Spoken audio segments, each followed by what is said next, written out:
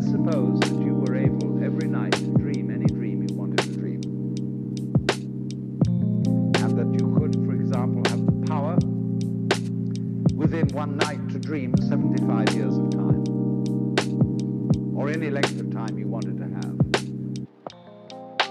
And you would naturally, as you began on this adventure of dreams, you would fulfill all your wishes. Every kind of pleasure.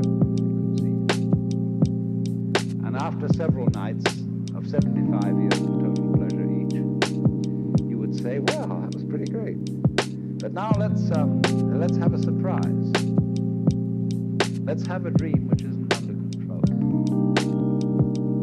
Well, something is going to happen to me that I don't know what it's going to be.